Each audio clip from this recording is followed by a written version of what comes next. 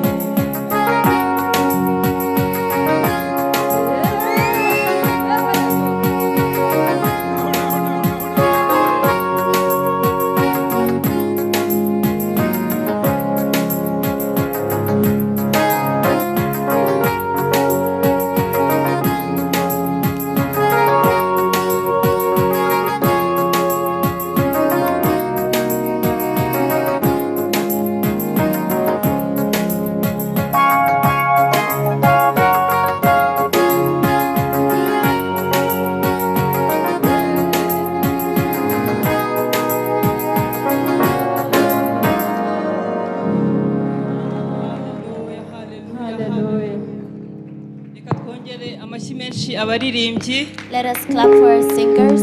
barakoze cyane kudufasha kuramya imana Thank you so much for helping us worship the Lord. haleluya Hallelujah. ubu ntawakwiringira imana There's no one who can trust in ngo the akorwe Lord n'isoni and they will be ashamed. haleluya Hallelujah. haleluya Hallelujah. mureke muri uyu mugoroba turusheho kwiringira imana turusheho kwizera imana Let us have hope and faith in the Lord kuko ntawamwizeye uzakorwa n'isoni. Ijambo ry'imana atubwira ngo ngo keretse uva mu masezerano nta mpamvu uwo ni we uzakorwa n'isoni. Haleluya mureke dukomere ku mana. Dukomeze kuyiringira kuko ishobora byose. Do anything. amen Amen. Ah, twakiriye iteraniro ryose abahageze twatangiye amateraniro We receive the whole assembly. ni karibu mwumve ubwiza bw'imana hano hantu You're welcome. We pray that you experience the goodness of God. twakiriye iteraniro ryose We receive the whole assembly. abageze mu nzu y'imana Those that are in the house of abari God, kudukurikira online those that are following us ni online, karibu. Tuze kugira ibihe byiza imbere y'imana. Reka twikomere amashyi menshi cyane ko twageze mu nzu yayo. haleluya haleluya reka mbasabe duhaguruke. Tugiye kwakira imana hano hantu. Tumaze kwiyakira. Tugiye kwakira umwami wacu. Tumukomera amashyi menshi cyane. Haleluya Hallelujah. haleluya Hallelujah. imana ibaha umugisha May the Lord bless you. Ah, tugiye gukomeza gahunda yacu We're going to continue with our plan. Ah, tugiye guturira imana We're going to offer to the Lord ah, mu byo yaduhaye in what He has given us. turakoresha ibiseke biri hano imbere We're using the baskets that are here in front.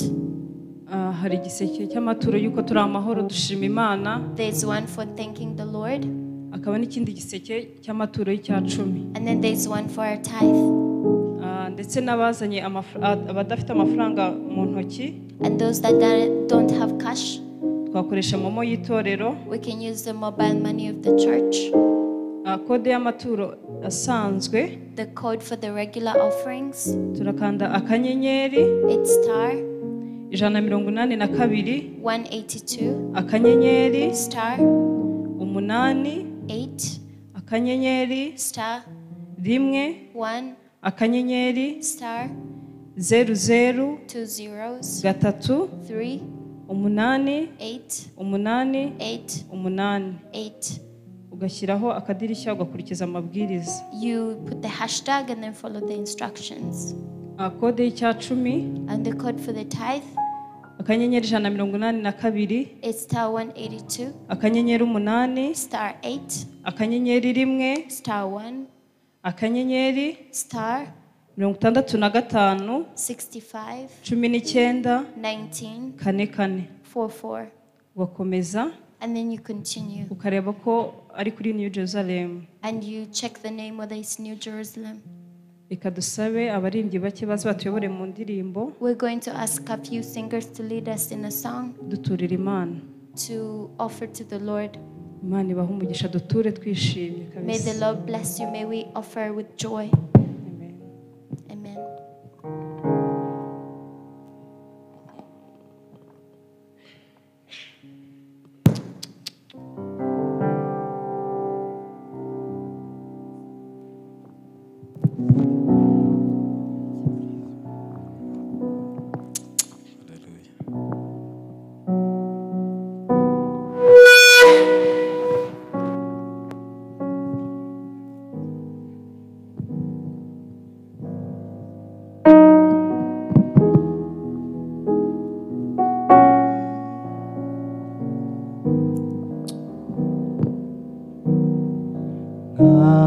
Nkamushyizwe hejuru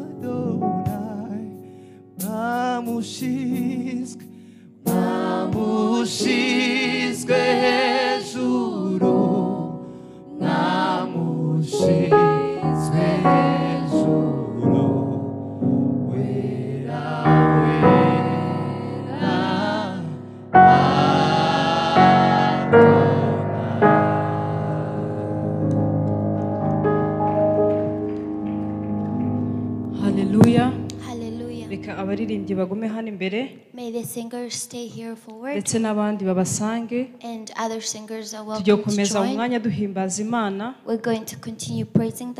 mbere y'uko twumva ijambo. haleluya reka dusabe iteraniro ryose duhaguruke duhimbaze imana yacu mu minota ihari the y'uko twumva ijambo ry'imana. Imana iduhane umugisha.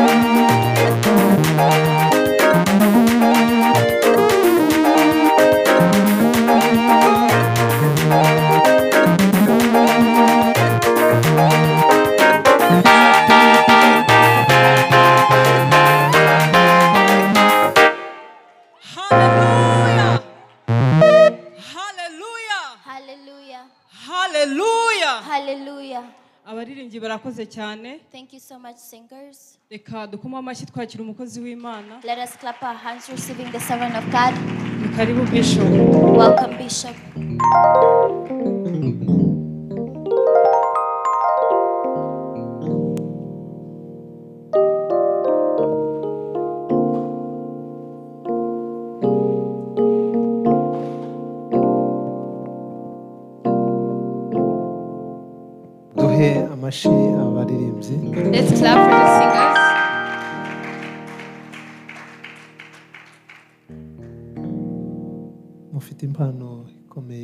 have a great gift, which is good. ahubwo ni ugushyiramo imbaraga mukayisengera mubwira imana ngo mwami udushoboze gukora umurimo wawe neza You have to put in more effort and ask God to enable you to do His work well. imana ngo udushoboza kugira ngo tubashe gukora neza umurimo wawe You have to tell God to enable you so that you may be able to do His work well. ko umurimo w'imana umurimo ukomeye Because the work of God is a powerful work, dusaba imbaraga umwete which asks us for, to put in more effort. ejo twavuze ibintu bikomeye Yesterday we talked about powerful things, uburyo imana yadukunze uburyo imana idukunda uburyo imana itwitaho the way in which God loves us, the way He cares for us. ariko twasanze nanone imana nubwo itwitaho ariko ntitureka gutya gusa iranaduhana iyo tutakoze neza But we found out that He also punishes us when we don't do good. tugarura mu nzira ikatubwira ngo muje ku murongo bana banjye He brings us back in the right ways. Ah, iyo tutagiye ku murongo ira- iraduhana cyangwa se ikadukuraho amaboko When we're not on the line, He punishes us. imana iradukunda ikatwishimira God loves us and He delights in us. ariko tutitwara neza ika- ikatukubita umunyafu But when we don't behave well, He punishes us. Ah, kubera ko imana irakiranuka ikunda ibyiza ikunda ko twitwara neza Because God is righteous and He likes us behaving well. rero nagira ngo mbakundishe gusenga So I would like you to love praying kuko gusenga ni ubuzima bwiza because praying is a good life. ubuzima bubamo ibyishimo n'imbaraga zikomeye It's a life of joy and power.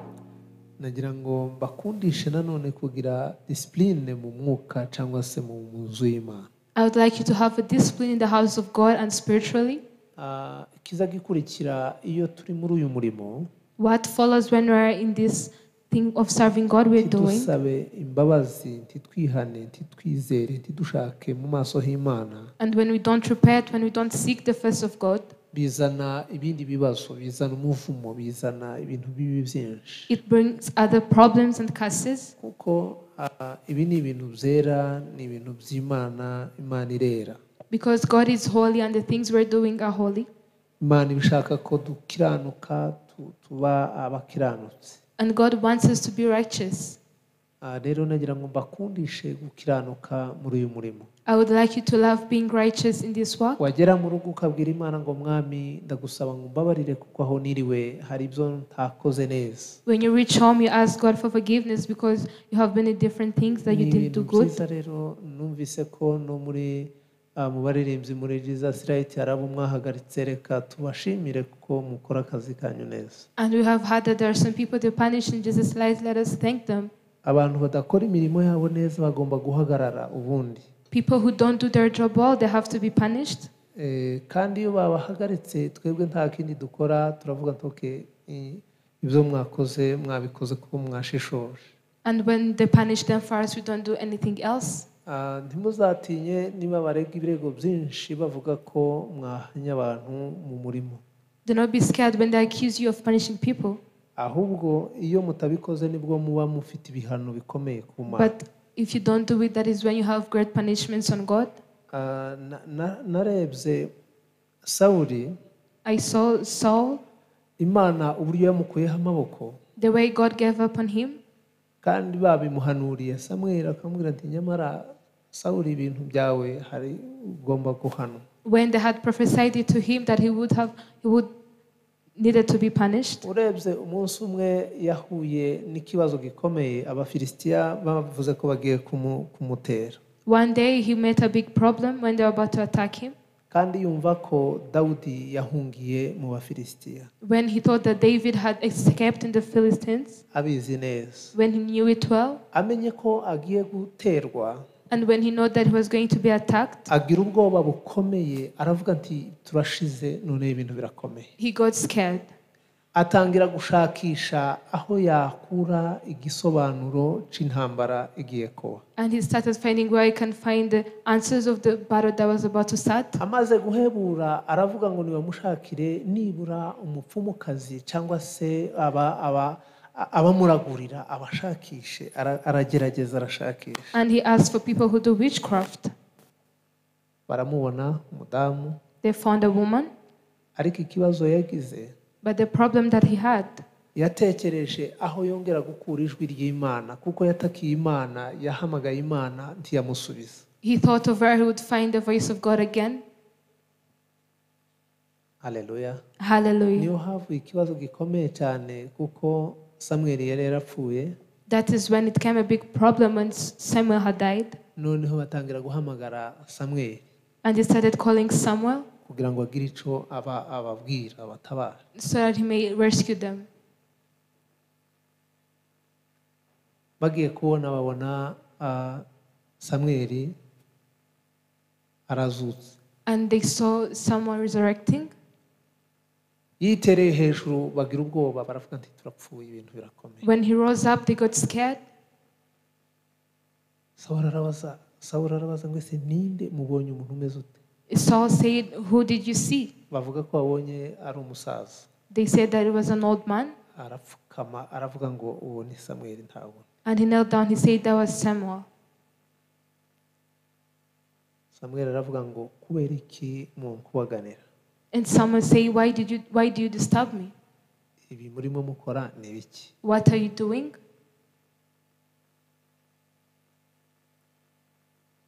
ni nubwo uriho us- useze imigeri nyamara ubwami bwawe bwageze gute bwarangiye And even though you're fighting, but your kingdom is over.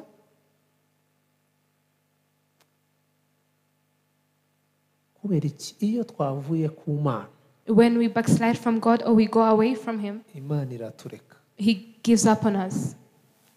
amen Amen. nagira ngo mbibutse iyo wavuye ku mana imana irakureka I would like to remind you that when you go away from God, He gives up on you. tuza twibwira ngo imana ntabwo ihana ubu ngubu ubu ngubu ihana ahubwo mu buryo bukomeye We think that God does not punish nowadays, but He does it greatly. niyo mpamvu abakirisitu abahanga mu kumenya imana ah, ahunga yihungiraho That is why people who know God, they escape to Him. arambarara hasi akavuga ati imana nacumuye none mbabarira They lie down and say, God has sinned, may you forgive me? amen Amen. arataka akavuga ati mwami imana aho niriwe nshobora kuba ntakoze ibintu neza They beg and say, God, where I have been, I might have not did things good. nagira ngo mbakundishe kwitoza gusaba imbabazi iteka I would like you to love repenting every time. aleluya Hallelujah. gusaba imbabazi buri gihe May you train yourself to always ask for forgiveness. niho haba umugisha n'imbaraga z'abantu b'imana That is where we find blessings and power. Ah, iyo mutubwira ko hamubwira amabwiriza new life igira amabwiriza jesus igira amabwiri- amabwiriza yayo jesus right amabwiriza yayo ngo arakomeye cyane barambwiye ngo jesus right ubu ngubu agira amategeko akomeye cyane They have told me that Jesus Light has great rules, ahubwo muzayongere yongere akomere cyane. But kuko may you also add ni ikintu more gikomeye. Because it's a good thing. buriya disipurine ni ikintu gikomeye mu bwami bw'imana. Discipline is a powerful thing in the kingdom of God. hari igihe bibaza ngo ariko bibaye byoroshye ngo ni byo byiza? Sometimes they say when it's easy, it would be Dufite abantu better. twatangiriye rimwe gusenga. We have people that we started together in praying, uyu munsi babivuyemo but today they're no longer in it. kubera iki gutinya amabwiriza y'umwuka. Because of fearing the spiritual rules. mwe mutaraba mu cyumba cy'amasengesho ngo muhabwe amabwirizwa akomeye cyane n'umwuka. Ababwire ngo dore ibyo mugomba gukora. Those who have not yet been in the room of intercessing, ibwiriza ry'umwuka. where you get the rules of the spiritual, ushobora kuba ufite amazi ntuyanywe cyangwa ukaba ufite ibiryo ntubirye Where you might have water or food, but you don't take it. ikakubwira ngo ubyuke saa cyenda And they tell you to wake up at 3.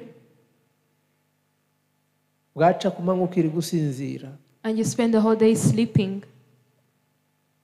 wagira ngo usinzire ikakubwira ngo byuka When you're about to sleep, it tells you to wake up. waje gufungura ikakubwira ngo apeti ntayo wowe reka kurya senga And when you're about to eat, it tells you to not eat or, and pray.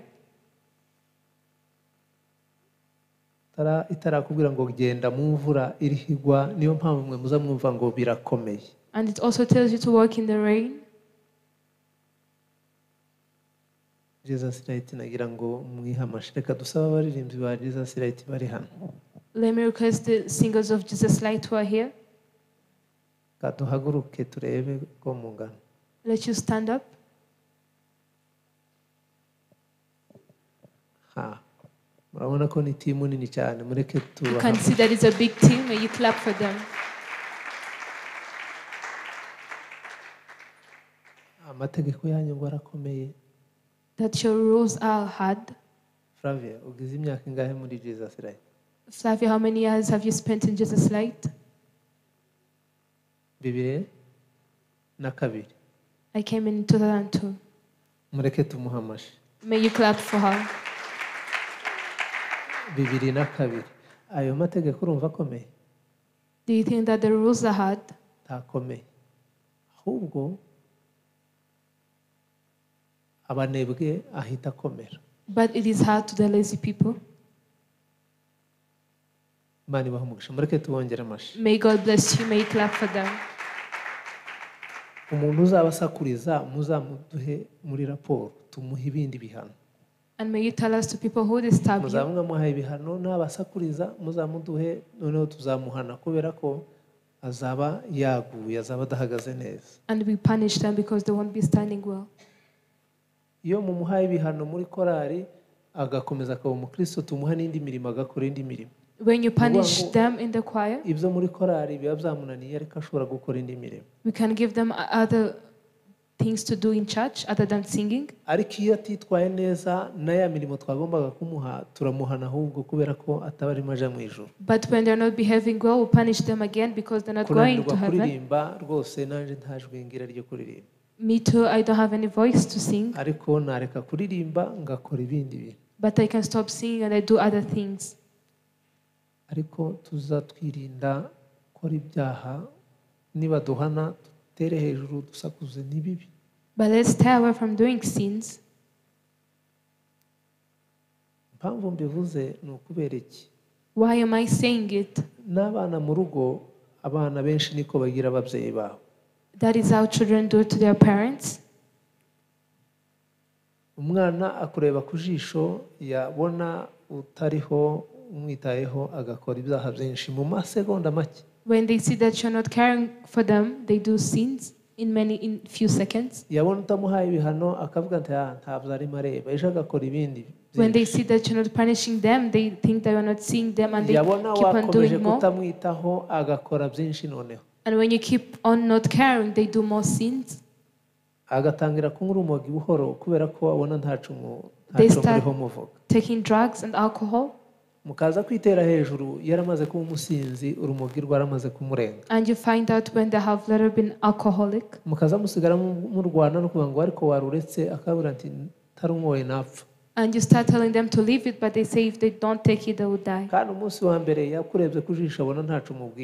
when the first day they saw you and you didn't tell them anything, and the second you didn't do anything, hashize amezi abiri utangira kuvuga ntari ku mwana wanjye ibintu wabiretse. And after two months you start telling them to stop, yamaze kubi- kubijyamo shitani yamaze kumuzirika. But they have started to be addicted. nagira ngo dufate duhe imbaraga uko ndabakangurira kugira ngo mu rugo muhatekereze. I would like you to think about your homes. muhatekereze uze ugira iminota nibura cumi n'itanu uganire n'abana. And have like few 15 minutes and talk to your kids. Mubwire ndi mwabana mwe bite? Ask them what's going on. Bakubeshe ariko nibuca wongere kandi muganire. They may lie you but the next day do the same thing. Bongere bakubeshe ni murangiza wongere waganirize. They lie to you again but the next time you talk to them. Ngo ese ni ryari umubyeyi atangira kuganira n'umwana amugira inshuti kugira ngo amu muzure. Urabona? Tubona ko gira aba yicara hafi yawe. Muzuri, can't you see that Gila is sitting next to you? buriya mugomba gutangira kugirana nawe ikiganiro atangira kuku- kukubwira amakuru yiriwe yatambutse ku munsi You need to start conversing with her and ask her what has been going on kuko ni- nibwo buzima because that's the life. kandi biriya dukora mu rugo no mu mwuka niko bimeze And what we do at home, it's also the same spiritually. Amabwiriza y'umwuka arakomeye The rules of the spirit are hard. mu gitondo kare kaguha umurongo ikakubwira nti ugomba kwitwara gutya mwana wanjye In the morning, it tells you you have to behave like this.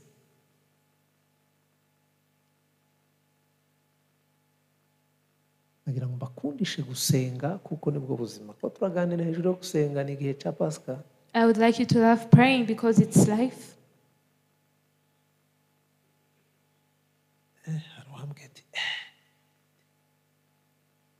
Ibintu birakomeye Someone told me that things are hard. gupfuka mu mwanya ungana kuriya mugasenga itorero mm-hmm. ryose Kneeling down for those minutes, the whole church, and you ubu pray. hari abaje basenga ati imana yo mu ijuru noneho bishop umwibagize ntiyibuke ko tugomba gupfukama There are those who can say, May Bishop forget that we have to kneel down.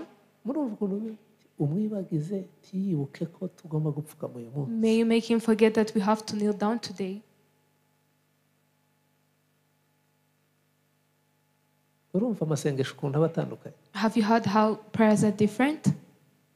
hari abashoboye akavuga ati ariko njye ndavuga amagambo agashira There are those who are able and they say that they pray and they get off of words. mediya baradutabara iyo badutabaye bagashiraho nibura ya- ya- ya njyana iradufasha nibura umwanya ubuze ibyo uvuga ukaba ugakurikira injyana And the media helps us when they put the music.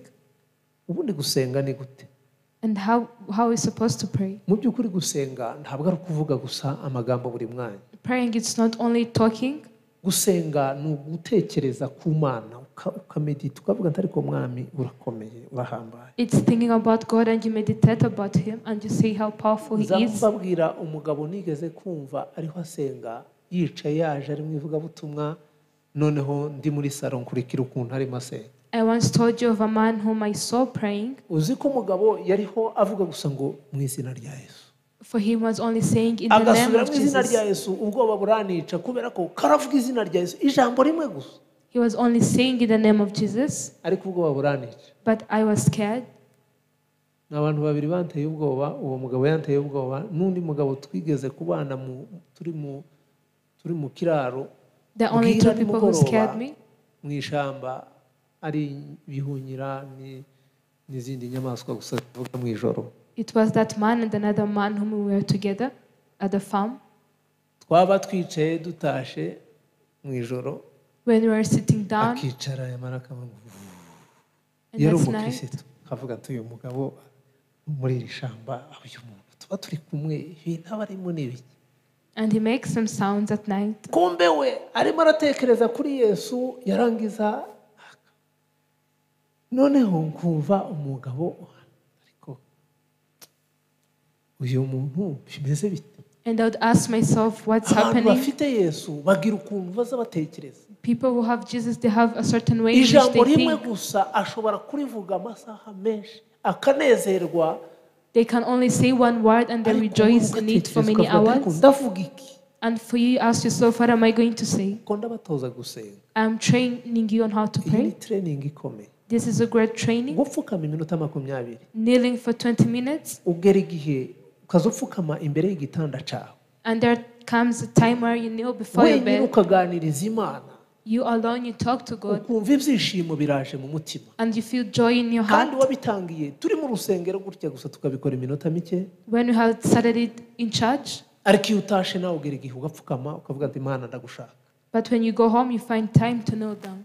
Iyo uriho usenga ukabona amagambo arashize And when you're praying and you don't get words to say, ugomba gufata ikaramu n'urupapuro ukandika you have to take a pen and a paper and you write. amasengesho yawe ukayandika You write your prayers. amen Amen. amen amen Amen. gusenga umuntu arabyitoza kandi akabishobora We train and teach ourselves on how to pray. Noneho umugabo kubera ko twari kumwe mu ishyamba ngira amahirwe ara- aragenda And because I was together with that man in the forest, I was lucky he went. mirongo icyenda na kabiri noneho naje nari ngize imyaka mikeya naratangiye gusenga natangiye mirongo inani n'icyenda I started praying in 1989. ngeze mirongo icyenda na kabiri noneho nongera kandi kuba mu mu kiraro mu ishyamba And in 1992, I was again in the forest and the farm. Noneho twari kumwe nanjye noneho mba nanjye nabaye nka wa mugabo noneho nanjye nkarara nsenga I also became like the other man. I started to sleep while praying. uwo turi kumwe nawe aka- akantinya akareba uyu muntu turi kumwe muri iri shyamba usenga gutya And the one whom gicuku." I was with together in that forest, they would also be scared for me. ubu ni bwo nabyibutse ndavuga tuzi ko ibintu biba bi- bikomeye This is when I remembered it and I said, things are iyo dusenga tuba turimo twiga When, you, when we pray, we are learning. mwabonye abajene batoya barimo basirimba Have you mu mwanya seen the young people who are dancing here? ni kuriya biza bitangira That is how it starts. uza utangira gusenga ababyeyi bakubwira ati mwana wanjye reka reka reka ntukazo- hariya imbere." You start praying when your parents are telling you to not go. ariko buriya iyo basimbutse ukabona arageze hano But when you see them here, hari umunsi umwe azabyibuka akibuka ko imana ikomeye akavuga ati hari umugoroba umwe naririmbiye imana there is a time that they will remember and remember how powerful God is. bikagaruka agatangira gutekereza gukomera kw'imana And they'll start to think about how powerful God is. iyo turimo twitoza gusenga ni ikintu gikomeye mu buzima bw'umwuka When we're teaching ourselves on how to pray, it is a powerful thing in a person's life. Kneeling down and pray. When we are here in church, twakuyeho ibyuma when we don't have the background music, uzivuga ati eh ko ntashe nta kintu numvise you can say, Why am I going home without getting umunsi wa kabiri anything? ukumva nta kintu kirimo kiza And the second day, you don't feel anything. hazaje gushira ukwezi ukumva noneho utangiye ku- kubikunda ukavuga ati ariko ko badaherutse kutubwira ngo dusenge dupfukane But after a month, you can you start loving it and you ask yourself, ukavuga ati why don't we wagarura ya do it more often? masengesho y'umwanya muremure tuzi ko natangiye kumva ari ibintu byiza And you ask yourself so that they may bring it back. Indwara zirahunga The sicknesses go, abadayimoni bariruka bakagenda the demons run and go.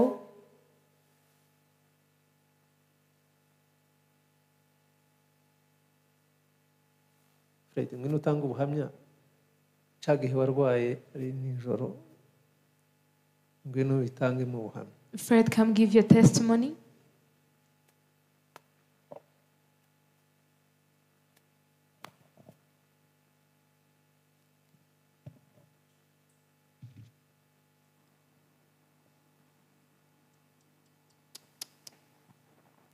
Eh, murakoze Thank you. reka mbivuge mu buryo bwihuse Let me say it in a quick way. ariko ntawakubwiye kwihuta uba uravuga nguhaye gutanga ubuhamya Ya, murakoze Thank you. ndabyibuka hari umunsi wo ku cyumweru I remember it was on Sunday. Gahunda yo kujya muri konseri y'aba James na Daniela I had a plan to go in James and Daniela's concert.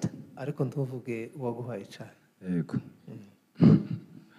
Nako ntabwo ari James na Daniela bari barimo n'uwitwa Dudu n'uwitwa Fortran wari ufite konseri. But Fota was the one with the concert. Eh, sinzi niba mbujije kuvuga izina ariko mvuga nyine ko ibyabaye. Eh, uravuga ibyabaye ariko ntuvuge uravuga ibyabaye ariko ntuvuge uwaguhaye icyayi. Ariko uravuga icyayi nyine ko umwaka imwe. Eh, n'ibizakurikiye twari mu- muri konseri ah, amasaha amaze kuba ya nijoro.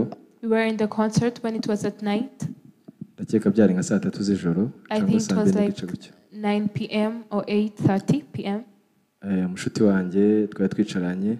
I was sitting together with my friend, asohoka hanze ambwira ko agiye kunywa ka cyayi.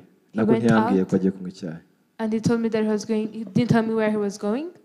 aza kumpamagara arambwira ati se nakuzanira eh, ikawa cyangwa waza ukansanga hano hano ndi hanze He called me and asked me if he would bring me coffee or I find him outside. ndavuga ati ntabwo nshaka gusohoka yinzanire hano I told him that I don't want to get out so I may bring it for me inside. nawe yazanye iwe nanjye ngo iyanjye twicaye nyine turi kureba konseri He brought his and also mine, and we took it. bigeze aho numva umutwe urimo urandya cyane I started feeling my head paining. ngira ngo wenda ni ukubera urusaku rw'ibyuma kuko sinkunda urusaku cyane I thought it was because of the noises of the music. Eh, nawe ambwira ko atameze neza And he also told me that he was not feeling good. ariko ninjye wari umaze kubimubwira mbere arambwira nawe ntabwo yumva ameze neza But it's me who told him before. Eh, maze turasohoka umwe afata moto nako twaje mu modoka turatandukana We came in a car and we departed. Eh, ngeze mu rugo umutwe urandya cyane When I reached home, and my head was paining more and more. ndi umuntu udakunda kurwara ariko uwo munsi nariwe n'umutwe ntarumva kabisa I'm someone who don't usually get sick, but that time my head was paining a lot. ngeze mu rugo numva ibiryo birananiye mfata amata When I reached home, I couldn't eat, but I took milk. mfashe amata nduka cya cyayi cyose When I took milk and I vomited the whole tea, ntangira kugira urwanda se nta kuntu baba bangiriye buriya ra I started feeling scared. ariko nyine kuko yari inshuti yanjye kandi ari umuhungu nkumva nta kibazo cyane cyaba kirimo But because it was my friend, I couldn't think that there would be a problem. nshakisha imiti kuko hari nka saa yine n'igice zirenga twatumye umukozi And I searched for medicine, Ah, arayibura mpamagara undi muhungu twabanaga and they couldn't find it. And I called my other friend, ndavuga ati meze nabi kabisa bikabije Ah, bashaka imiti barayibona ndayinywa and I told him I was not feeling good. They got me medicine, ariko kabisa numva umutwe urenda guturika kabisa but I felt like my head was about to burst. ntabwo nkunda kuruka ariko na yo ndimo ndaruka cyane I was vomiting a lot. noneho kubera ko twigeze guhabwa nomero ya bishopu Because we were given the number of Bishop, natinyaga ubundi kumwandikira hari ibintu yari yaduhaye ariko nkumva kumwandikira nkumva birananiye I was scared to text him. ariko ndibuka hari saa sita z'ijoro ndavuga ati nta bundi buryo nta zindi nzira reka mpamagare bishopu I remember it was 12 p.m. and I called him.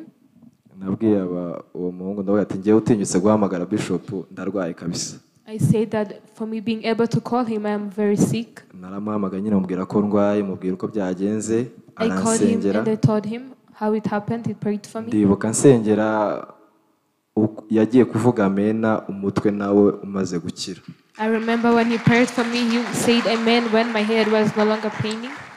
ariko nk'abati wenda ashobora kuba hari ukuntu bigenze buriya nta nta- nta- ashobora kuba ntakize reka nkomeze mbyumve neza But I thought that I was not healed that much. Maze nk'iminota mirongo itatu ndavuga tuzi ko nakize koko And after 30 minutes, I felt good again. kuko akimara kunsengera numvaga namubwira ati uzi ko nkize ariko ndavuga ati nshobora kuba ntakize reka mbanze imbere iki gato But after he prayed for me, I wanted to tell him that I was okay, but I wanted to wait and see if I'm really okay. iyo minota imaze gushira noneho mwandikira message ndavuga ati rwose ndi muzima kuko nahise mbyuka njya muri salo bwira umukozi ndavuga teka kabisa kuko ndumva nshonje bikomeye But afterwards, I went and texted him that I was feeling good. Uwo muhungu nawe ari ahandi yari ari kuko yari yaje azanywe no kugira ngo ndebe kuko yari avuze ngo kubwo Fred avuze ko arwaye yararwaye kabisa When my friend said that because I called him, I was totally sick. aragaruka asanga rwose nicaye muri salo ndi kuri fone saa saba z'ijoro rwose imeze neza and he phoned me okay. ha impamvu mbabwiye mbwiye fred ngo natange ubuhamya The reason why I told Fer to give his testimony, ubu yagombye kuba yaragiye mu ijoro he would have went in heaven, kandi ntabwo bwari guca atagiye he would have died not even in the morning yet. buriya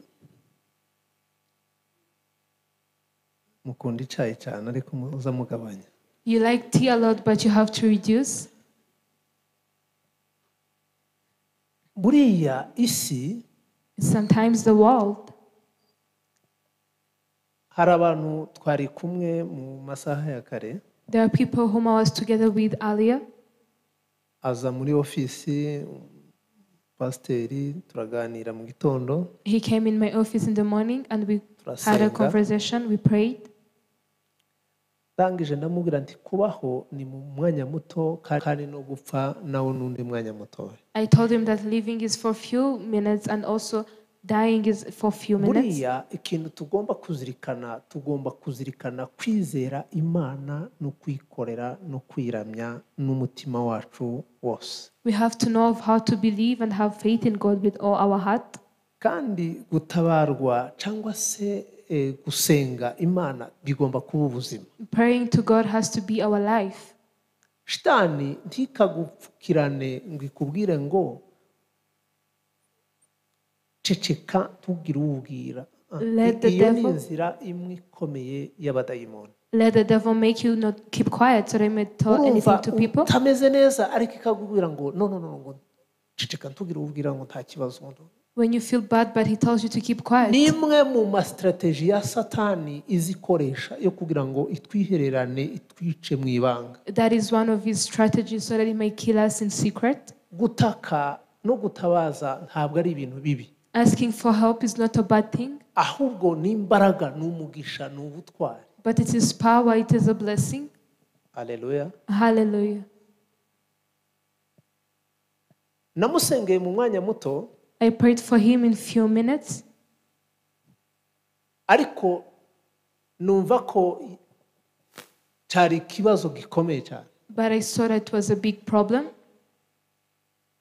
niyo mpamvu tugomba gusenga iteka kandi bikaba ubuzima tukabigira ubuzima That is why we have to pray at all times. amen Amen. amen Amen. uvuga ngo gusenga tugomba kubigira ubuzima Say praying has to be our life. iyo turimo twitoza gusenga When we are training ourselves on how to ni pray, alarme ikomeye cyane it is a great alarm. n'igihe uri wenyine igihe nta wundi muntu muri kumwe umwuka w'imana aza gu- aza gutabariza aza kugendamo akakwambika imbaraga Even when you are alone, the Holy Spirit gives you power. dufite ubuhamya abantu benshi bafite ubuhamya bw'ibintu bitandukanye imana igenda ikora Many people have different testimonies of what God does, ariko ntituza tubivuga but we don't say it. Kandi buriya kudatanga ubuhamya bw'ibyo imana yakoze And not giving testimonies of what God did, ugupfukirana ivugabutumwa it's covering evangelization. ivugabutumwa ni iki ni ibitangaza ni ibyo imana yagize ite yakoze Evangelization is about what God did, kandi niho haba ubutabazi niryo tara ry'imana ku buzima bwacu and that is where we get the rescue. nagira ngo mbakundishe gusenga I would like you to love praying kandi mbabwire ko ari ibintu byiza and tell you that it is a good thing. Nitubikunda. If we love it tukabikora neza. and we do it well, tuzahabwa imbaraga. we will, give, we will be given kandi power, imana izadukoresha imirimo ikomeye. and God will use us to do great things. bwira uri hafi yawe mubwire ngo gusenga ngiye kubyitoza. Tell your neighbor that I'm going to teach myself on how to pray.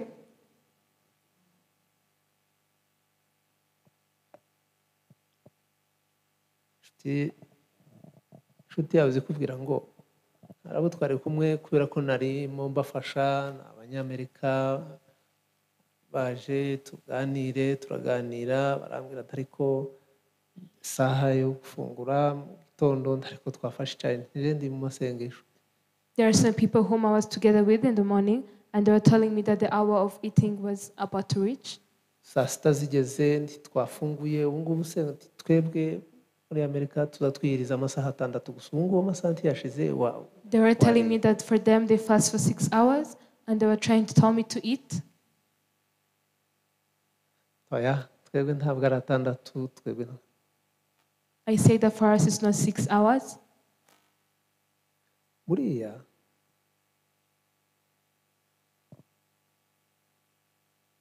ntugakangwe ni- ni- n'ibyo kurya uriho ureba ako kanya Do not be scared by the food that you see at that moment. Ibyo kurya ntibikagukure mu masengesho kubera ko uriho ubona ibyo kurya bihiye Let not food remove you from prayers. oya gusenga tugomba kubishyira imbere bikaba ubuzima We have to put praying fast, and it has to be our life. baza bambaza none se uraciriza They like to ask me, Do you still fast? Do you still fast like you used to? Amen Amen. ahubwo ubu ngubu nibwo ngomba kubikora But today, this is when I have to do it. shitani ntabwo izisinzira The devil does not sleep. niyo mpamvu tugomba gukora cyane That is why we have to work hard. amen Amen. mwasenze ngo ntidupfukame koko nabyumvise ntabwo ndi bubabwire ngo mupfukame You prayed so that we may not kneel, and I had it. We're not going to kneel. Turasenga ariko ntabwo mbasaba gupfukama uyu munsi We will pray, but today we will not kneel kubera ko ni kuwa gatatu mwashonje mwirije cyane twese twe- twagerageje because we're on Wednesday and we all fasted. ntabwo ndi bubabwire ngo mupfukame ariko ndabasaba ko mugira kwizera I will not tell you to kneel, but I matayo will request you ibice to have makumyabiri faith. na kimwe umurongo wa makumyabiri na kabiri Matthew chapter 24.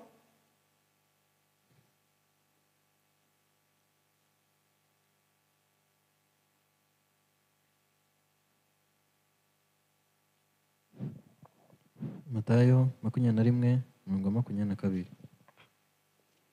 Haravuga ngo kandi ibyo muzasaba mwizeye muzabihabwa byose. Amen. Subiramo john. Kandi ibyo muzasaba mwizeye muzabihabwa byose. Amen. Ha ntabwo twumvise. Kandi ibyo muzasaba mwizeye muzabihabwa byose. Amen. Tamari nawe nasome.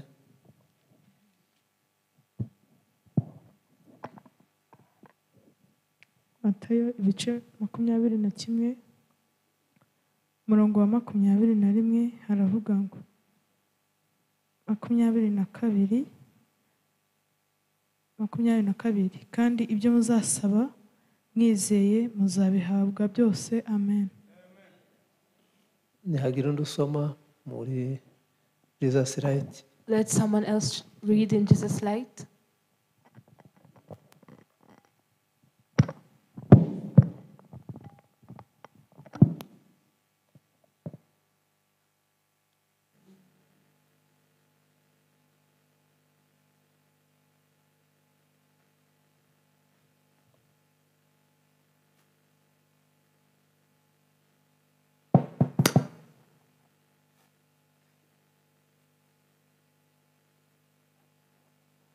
Matayo igice cya makumyabiri na rimwe umurongo wa makumyabiri na kabiri haranditse ngo kandi ibyo muzasaba mwizeye muzabihabwa byose. Amen. Penina. Penina.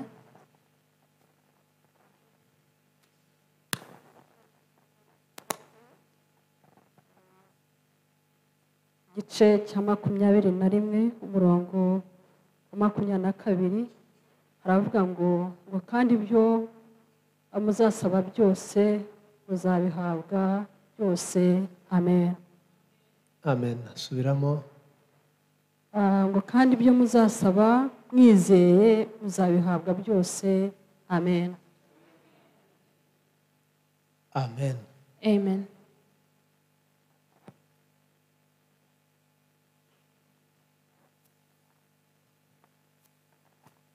Umusemuzi eh? Matthew chapter 21, verse 22. And whatever you ask in prayer, you will receive if you have faith. Amen. amen mama Leah, Mama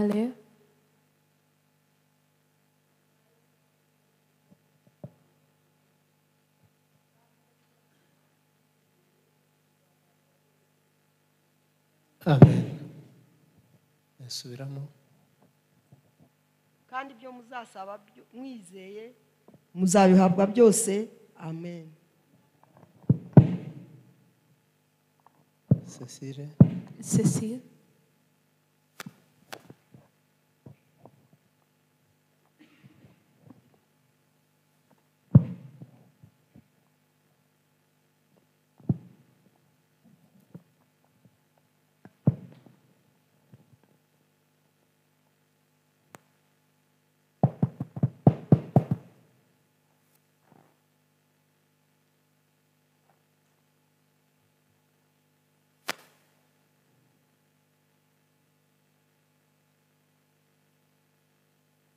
Kandi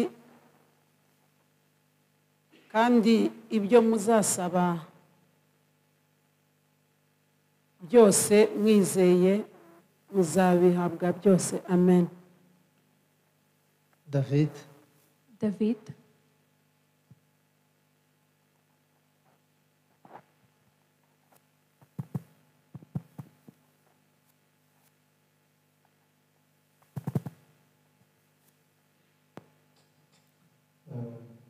yapmam yeneri bulunmak, yeni kırık kalmak.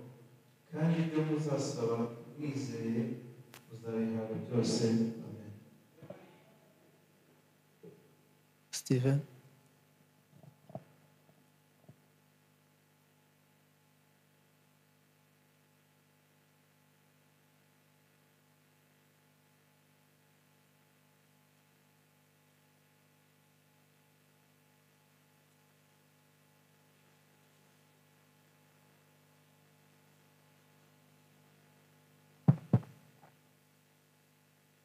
Matthew 21, verse 22. If you believe, you will get anything you ask for in prayer. amen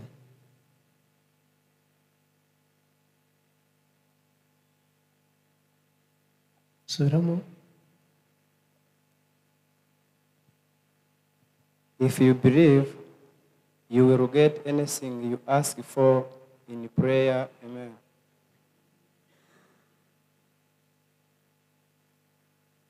Iriya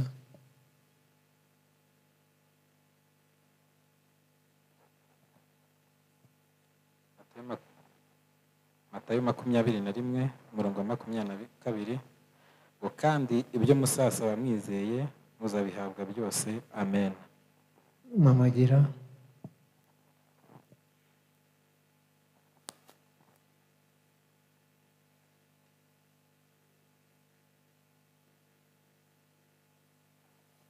Matayo ibice makumyabiri na kimwe umurongo wa makumyabiri na kabiri. Aravuga ngo kandi ibyo muzasaba mwizeye muzabihabwa byose. Amen. Atanazi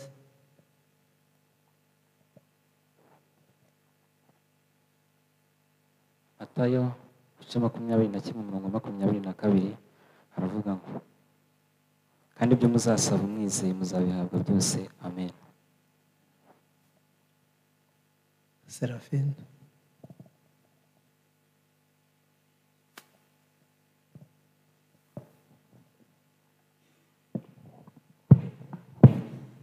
matayo makumyabiri na rimwe makumyabiri na kabiri.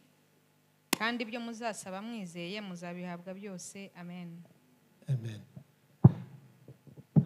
Tugiye gusoma noneho tuta- tutakoresheje bibiliya kuko ndumva reka twese noneho dusome uwo murongo tutafite tutarebye muri bibiliya. We are all going to read without seeing it in the Bible.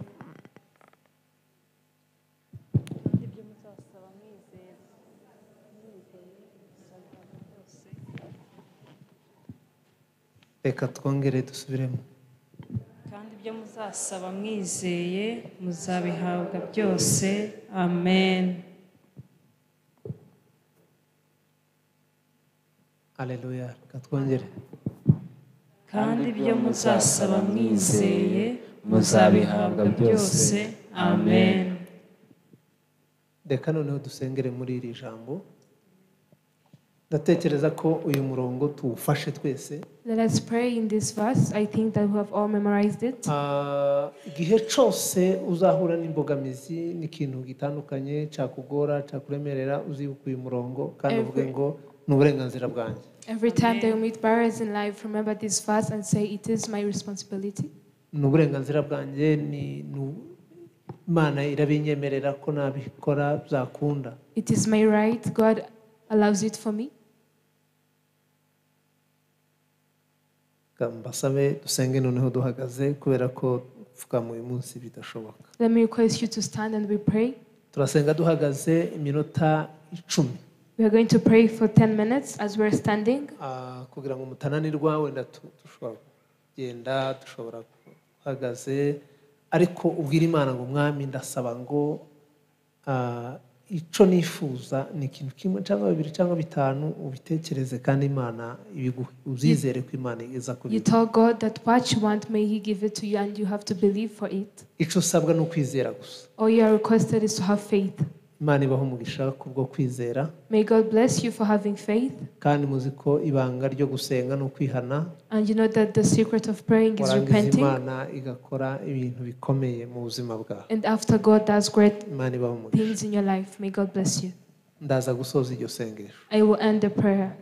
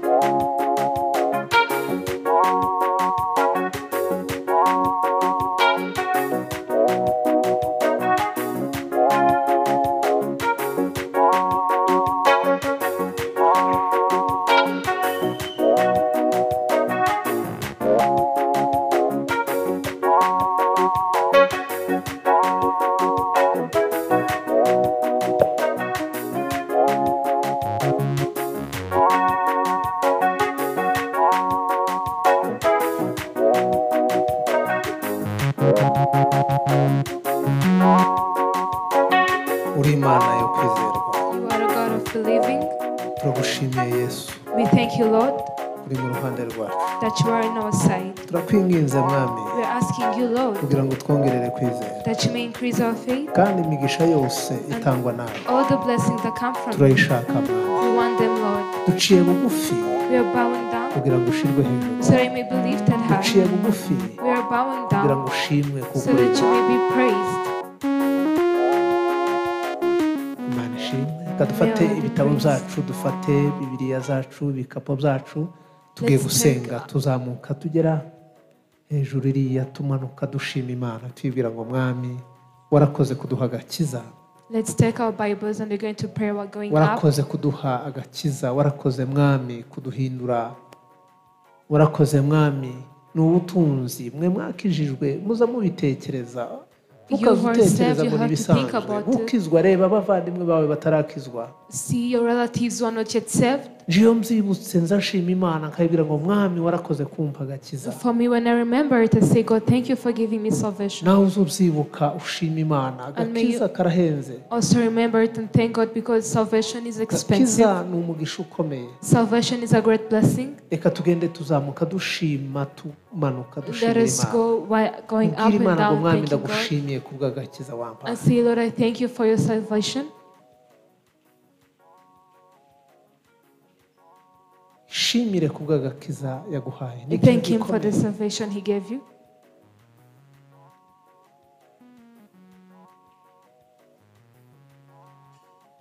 wishimire urebe abavandimwe bakiri mu byaha uburyo barushe uburyo bafite amahoro make Thank Him and see how your relatives who are still in sins that tired, they don't have peace.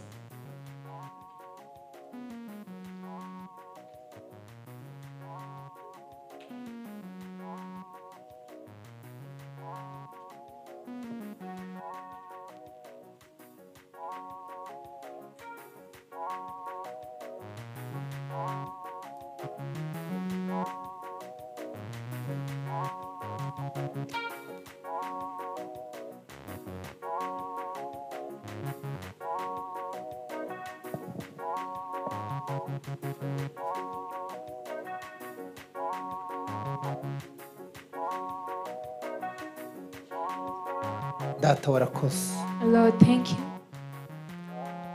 warakoze mwami kumpa agakiza ndagushimiye Thank you, Lord, for giving me salvation. I thank you. ndagushimiye mwami I thank you, Lord, ku gakiza wampaye for the salvation you gave me.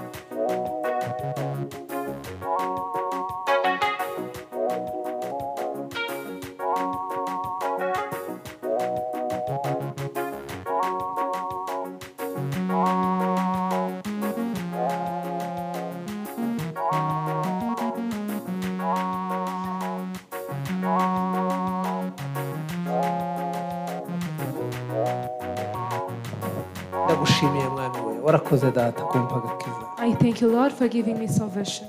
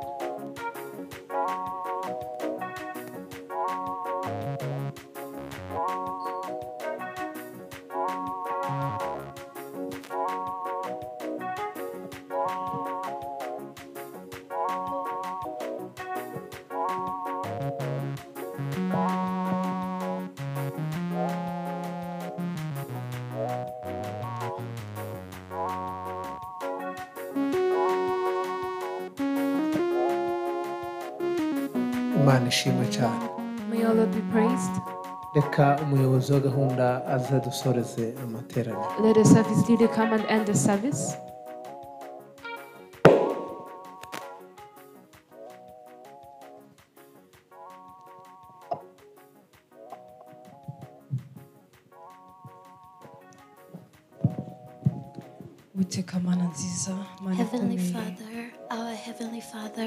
Father, witeka turagushima kuko uri imana igira neza we thank you because you're a good God. turagushima kuri uyu mugoroba mwami We thank you for this evening, Lord. turagushima kuko waduhaye umugisha wo kuza mu nzu yawe papa We thank you for giving us the blessing to come to your house. ndizera neza ko dutashye imitima yacu iruhutse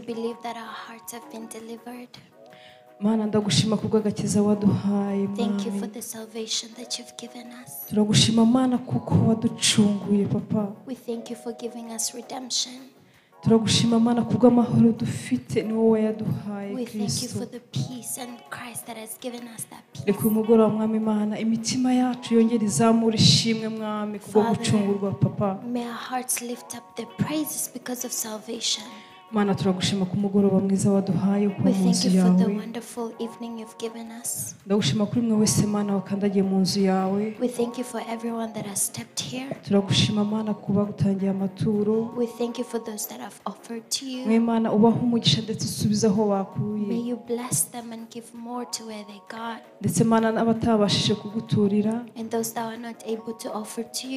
Mana ubahe imirimo ubahe umugisha kugira mana ubutaha bazabashe gutura mu nzu yawe may you give them jobs and work so that they can offer next time to you. kirisito tugiye gutandukana Dear Jesus, we're going to on our separate ways. mwami mana ujyane natwe ujyane na buri umwe wese mana May mu you, nzira ye may you walk with everyone in their journey.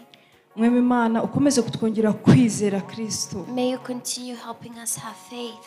Ijambo ryawe tubwiye ngo ibyo dusaba byose twizeye ngo tuzabihabwa. Buri wese atahana ijambo mu mutima we kandi akomeze kwizera yuko ibyo yifuza imbere y'imana yizeye azabibona. Urakoze kuko watunejeje kirisito amen. Amen. haleluya Hallelujah.